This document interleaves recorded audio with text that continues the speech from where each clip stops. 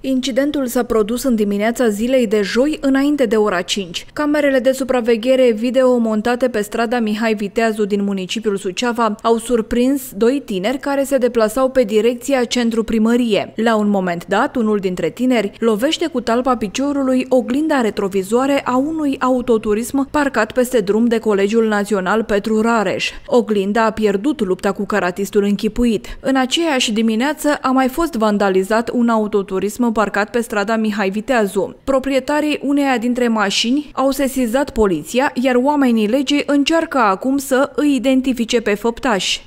Având în vedere sesizarea depusă de către un cetățean din municipiul Suceava cu privire la săvârșirea unei fapte de distrugere asupra autoturismului său, polițiștii din cadrul Poliției Municipiului Suceava, Biroul de Investigații Criminale, au deschis un dosar de cercetare penală sub aspectul săvârșirii infracțiunii de distrugere. Mai exact, conform celor relatate de către partea vătămată, dar și a imaginilor surprinse de camerele de supraveghere, Uh, un tânăr a distrus în mod intenționat oglinda unui autovehicul, fiind suspiciuni în cauză și cu privire la alte fapte de distrugere săvârșite în cadrul aceleiași serii.